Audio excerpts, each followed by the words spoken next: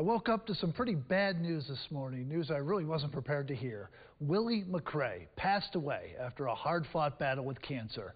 The former, the owner of Boone Hall Plantation is remembered as a champion of conservation, known as a low country legend, a friend to all. He forfeited millions of dollars in profit to ensure the land he loved would be cherished by visitors in years to come. News 2 Sophia DeSaussure has more on the life of Willie McRae.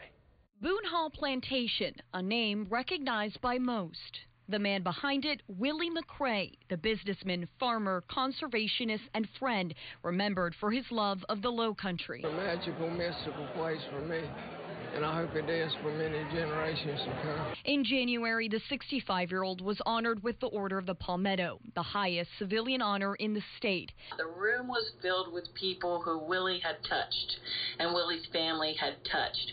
People from farmers from McBee and everywhere in the state. And uh, it was just truly an inspiring day to see this man be recognized. Charleston County Chairman Elliott Summey says he nominated him because of his generous spirit. If I had to pick a person that said that is the low country, one person who embodies the low country, it would be Willie McRae. The way he talked, the way he acted, um, his generosity towards others, his love of the land in the low country and our saltwater marshes and our and our way of life. Arguably his greatest achievement was the conservation of his family's 600 acre property located amongst densely developed land east of the Cooper.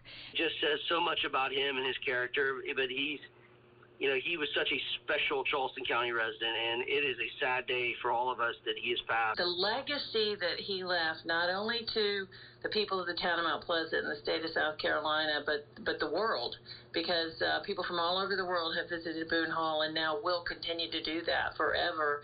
Um, is unbelievable and unselfish, and uh, just showed great character from from Willie McRae character former Mount Pleasant Mayor Linda Page knew well.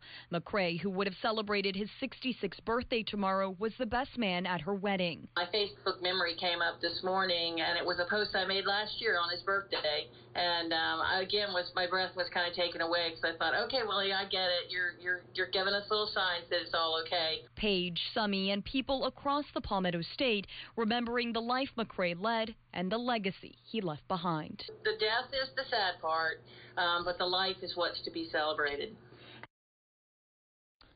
Very true words right there. He will be missed. Willie McRae's father, he bought the 738 acre Boone Hall plantation site for his wife. It was a surprise. Willie was just an infant. Willie McRae was 65 years old. He would have celebrated his 66th birthday tomorrow.